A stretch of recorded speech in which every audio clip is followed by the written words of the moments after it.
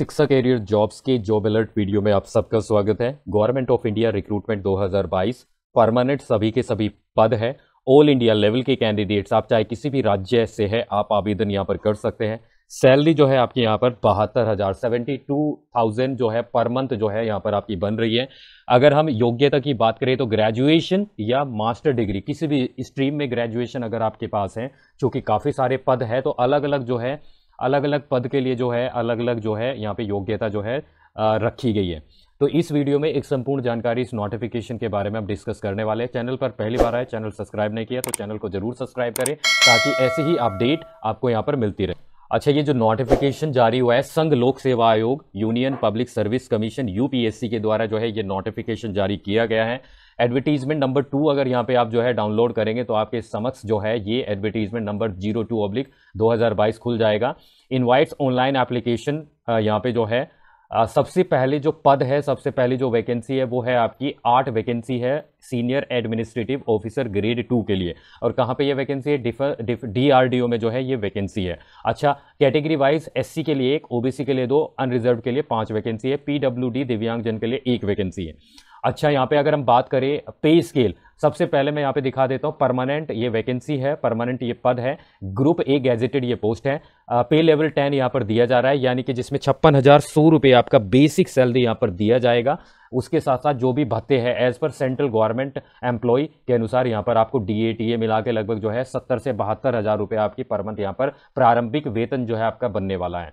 अच्छा अनरिजर्व के लिए अधिकतम पैंतीस वर्ष आयु सीमा है अगर हम इसेंशियल क्वालिफिकेशन की बात करें तो आपकी डिग्री ग्रेजुएशन डिग्री आपकी होनी चाहिए किसी भी स्ट्रीम में। आ, किसी भी स्ट्रीम में ग्रेजुएशन की डिग्री आपके पास होनी चाहिए। साथ ही साथ एक्सपीरियंस जो है तीन वर्षों का यहाँ पे एक्सपीरियंस एडमिनिस्ट्रेशन में इस्टेब्लिशमेंट में एंड अकाउंट वर्क में जो है आपका यहाँ पर जो है अगर एक्सपीरियंस है तो आप आवेदन यहाँ पर कर सकते हैं। डिज़ायरेबल की बात करें तो ये मैंडेटरी नहीं होती है। डिज़ायरेबल है अगर है तो अच्छी बात है। डिप्लोमा इन पर्सनल मैनेजमेंट अच्छा जॉब लोकेशन आपकी कहाँ कहाँ रहेगी? All over India anywhere in India जैसे कि राजस्थान में, महाराष्ट्र में, चंडीगढ़ में, कर्नाटक में एंड केरल में, ठीक है? जहाँ जहाँ पे डीआरडीओ के जो इस्टेब्लिशमेंट रहेगा, वहाँ पे रहेगी। वैकेंसी नंबर टू के लिए अगर हम बात करें तो एक वैकेंसी है assistant employment officer directorate general of employment ministry of labour and employment में। एससी अनुसूचित जाति के लिए एक पद है और ये सुटेबल है फॉर दिव्यांग जन के लिए, लेकिन ऐसा नहीं कि केवल ये रिज़र्व है दिव्यांग जन के लिए, कोई भी अनुसूचित जाति का कैंडिडेट यहाँ पर आवेदन कर सकता है। अच्छा लेवल सिक्स यहाँ पर प्रदान किया जा रहा है, पैंतीस वर्ष अधिकतम आयु सीमा है, लेकिन यहाँ पर जो जॉब रिलैक्सेशन है, आयु सीमा में छूट as per central government employ के अनुसार दिया जाएगा। जैसे नॉर्मली ओबीसी को तीन वर्ष का और एस सी को पाँच वर्ष का यहाँ पर छूट प्रदान की जाती है। अच्छा इसके लिए मास्टर डिग्री इन कॉमर्स और सोशल वर्क और सोशल वर्क और सोशल वेलफेयर और इकोनॉमिक्स और स्टेटिक्स मैथमेटिक्स और साइकोलॉजी और एजुकेशन में आपकी मास्टर डिग्री होना चाहिए। दो वर्ष का एक्सपीरियंस आपका सोशियो इकोनॉमिक इन्वेस्टिगेशन और रिसर्च में आपका होना चाहिए। ठीक है? वैकेंसी नंबर थ्री है, एक वैकेंसी है फॉर सब रीजनल एम्प्लॉयमेंट अधिकारी के लिए। ठीक है? यहाँ पे जो है एक अनरिजर्व के लिए जो है वैकेंसी है। ठीक है? यहाँ पे अगर हम बात करें master degree in social welfare और सोशल वर्क ठीक है? थ्री इयर्स एक्सपीरियंस आपका होना चाहिए ठीक है? वैकेंसी नंबर फोर है एक वैकेंसी है असिस्टेंट प्रोफेसर के लिए आयुर्वेदा ठीक है? तो यहाँ पे द पोस्ट इज़ टेम्परेरी ठीक है? लेकिन लाइकली टू कंटिन्यू इनडेफिनेटली ठीक है? तो ये जो है uh, वैसे तो टेम्परेरी पोस्ट है लेकिन इनडेफिनिट पीरियड के लिए जो है ये जो है कंटिन्यू रहने वाली है। ठीक है पैंतालीस वर्ष है और essential qualification degree in Ayurvedic medicine आपकी होनी चाहिए। ठीक है आ, साथ ही साथ जो नंबर फाइव जो वैकेंसी है वो भी असिस्टेंट प्रोफेसर आयुर्वेदा की है। इसी प्रकार assistant professor Ayurveda number six vacancy है। यहाँ पे एज लिमिट में कुछ डिफरेंस है। ठीक है? इसेंशियल क्वालिफिकेशन वही डिग्री इन आयुर्वेदा आपका होना चाहिए। इसी प्रकार से वैकेंसी नंबर सेवन भी असिस्टेंट प्रोफेसर की आयुर्वेदा में। ठीक है? क्लोजिंग डेट की बात करें। आवेदन ऑनलाइन करना है। कब तक करना है? दस फरवरी दो हज़ार बाईस तक आप यहाँ पर ऑनलाइन आवेदन यहाँ पर कर सकते हैं। अच्छा यहाँ पे अगर हम बात करें प्रोबेशन पीरियड आपका एज पर गवर्नमेंट रूल होगा।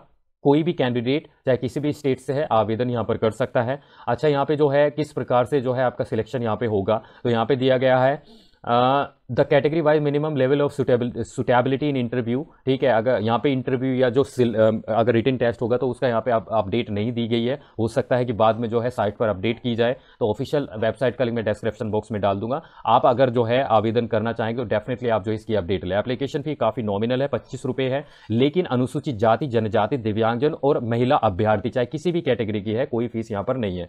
ठीक है तो यहाँ पे जो है अगर आप आवेदन करना चाहते हैं तो ऑफिशियल जो वेबसाइट है उसका लिंक मैं डिस्क्रिप्शन बॉक्स में में डाल दूँगा, वहाँ पर जाकर आप जो है आवेदन कर सकते हैं। अच्छा ऐसी ही अपडेट पाने के लिए जो है आप हमारा चैनल ज़रूर सब्सक्राइब करें, ताकि कैरियर मार्गदर्शन, जॉब अलर्ट, एडमिशन अलर्ट और जो भी महत्वपूर्ण नोटिस जारी किए जाते हैं, हायर एजुकेशन से संबंध में या जो है तो यहाँ पे आपको सबसे पहले मिल जाएगा। तो चलिए, वीडियो को लाइक करें, ज़्यादा से ज़्यादा शेयर करें।